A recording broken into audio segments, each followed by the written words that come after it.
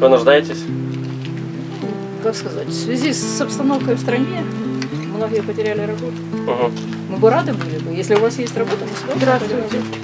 Здравствуйте. А, а хлеб будет в качестве премиальных, а вообще он нам очень нравится. Любушка, вы не даете, нет? Сейчас дадут. Да, да, сейчас, сейчас.